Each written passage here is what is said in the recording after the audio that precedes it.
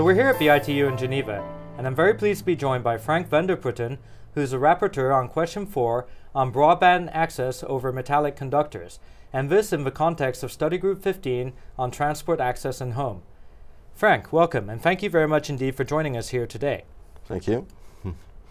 So, Study Group 15 is very well known for its DSL standards, and it's also well known for you know breathing new life into copper access technologies uh, through uh, G.fast. Uh, it's also the 20th anniversary of Question 4. Could you please provide our viewers with uh, an overview, a history of uh, Study Group uh, 15 and Question 4, and also you know what, why it was so successful? Well, we started in 97, so 20 years ago indeed. And so in the early days, uh, we were working on, on ADSL, which was just the next step of voice band modems, earlier work of the ITU. And we were taking like uh, the speed of the services like to a few megabits per second. Uh, it took a few years to finalize this work, but quickly we stepped up to, to VDSL and uh, we spent our time on how can we like uh, say make the speed times 10 and VDSL went into the several tens to, to 200 of, of megabits.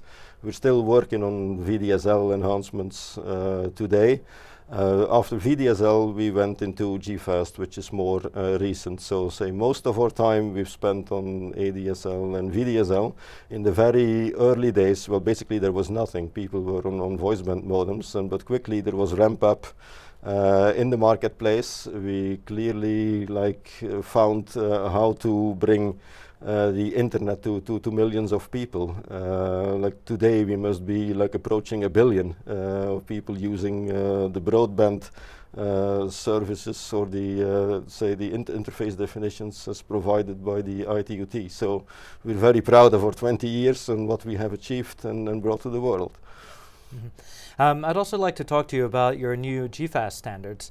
Uh, could you please explain, you know, some of the key features of G.fast and what are some of the benefits towards uh, both operators and consumers?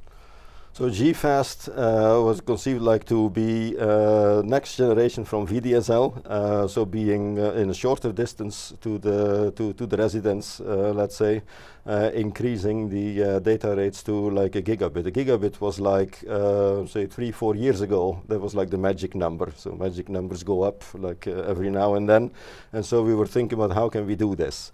And so together with several deployment scenarios, so operators brought their uh, to the ITU-T. Say, well, there is interest in something like this, uh, so please think about uh, what can be done.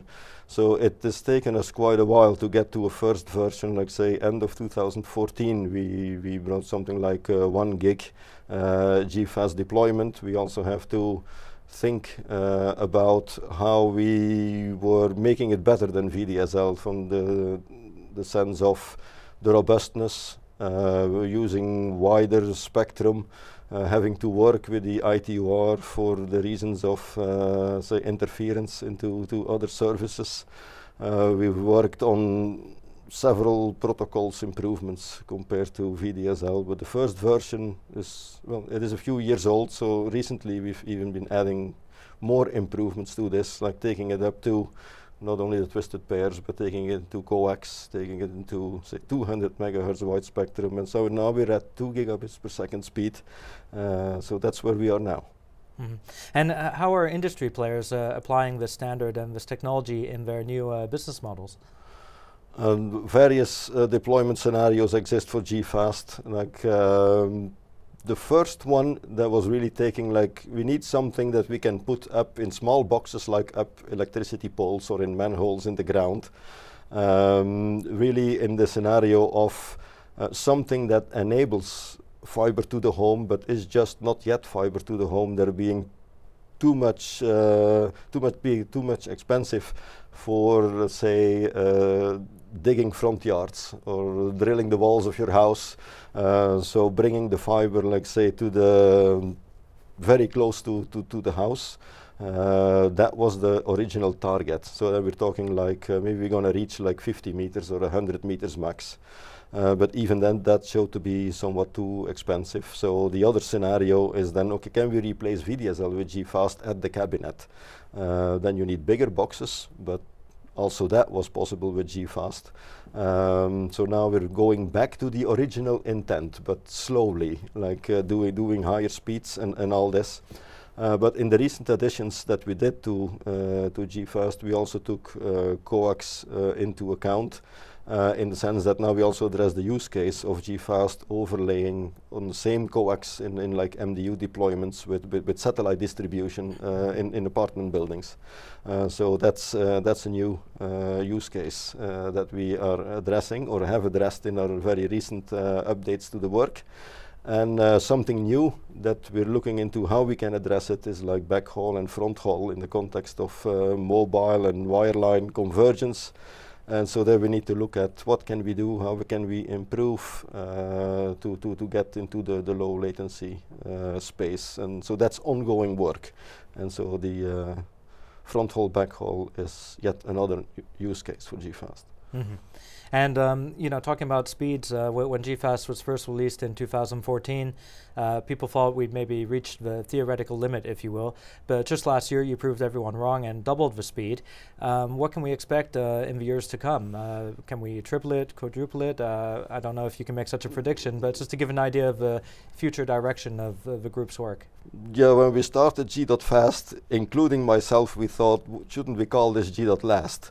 but we proved ourselves wrong, including proved myself wrong in that, uh, okay, one gig was like a magic number four years ago. Uh, now the magic number is 10 gig. So we really need to think about, can we really do 10 gig on a copper wire or a coax or what? Even by doing higher frequencies or new technologies, new possibilities, really explore like uh, a broad thinking exercise. Uh, and so we started a new project that we uh, named uh, G.mgfast. Uh, we, we set the, uh, the target for getting a recommendation out pretty far out in the sense that yeah we all understand that this is going to be new silicon for all the vendors and all this. So we really need to think from scratch. And um, but okay we got to start now. We have learned over our 20 years that it takes like two three years to get anything from uh, initial thoughts to, to say availability of, of, of silicon. So with, with that experience, we have to start thinking about this, although we just have really only started uh, thinking about how we can do this. So there is quite some work ahead, but we're getting quite good input and contributions and all this. So it seems like the thinking is ramping up and people are interested, always interested, of course, to think about the next great thing. Uh, but it's going to be a while. So for the deployments, we really also have to focus on can we make G.fast more deployable and better and so, so we have to mm -hmm. Keep working on the improvements of G.fast and at the on the new technology at the same time. So we're pretty busy still after 20 years in Q4. We're still not done answering the question how do you do broadband on metallic conductors. Mm -hmm. Well, I mean, looking at your body of work, it's clearly not G.last. Um, so it's G.fast and getting faster, and I look forward to seeing how much faster it can even get. Um, so Frank, I'd like to thank you for your time and uh, wish you a successful uh, study group meeting. Thank you. You're welcome. Thank you. Thank you.